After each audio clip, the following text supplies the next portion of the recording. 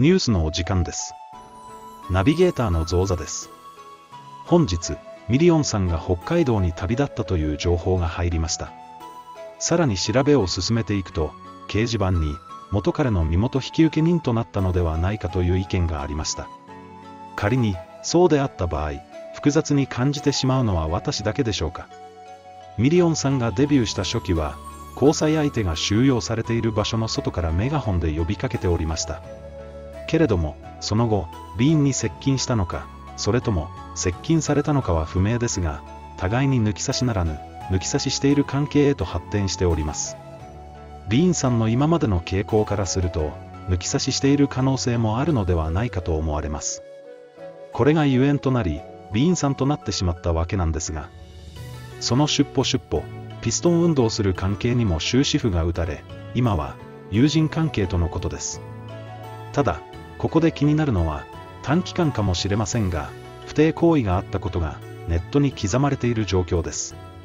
言い逃れはできません。それでも、北海道の人物との関係は続けるのでしょうか。一度は、関係を終わりにして、他者へ乗り換えたわけです。関係が終わったから、戻ってきました。そんな簡単なことなのでしょうか。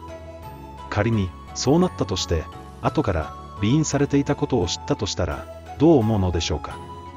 私なら、塀の中には行っているわけなので、戻ってきてくれるだけで感謝ではありますが、どうしても、裏切りを勘ぐったり、相手の男性がどういった人物なのか気になってしまうと思います。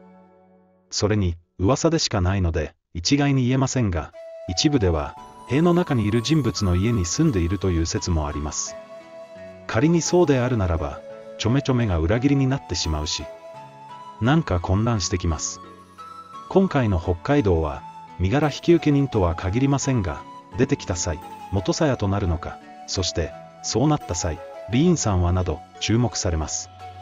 それでは、また、お会いしましょう。チャンネル登録お願いいたします。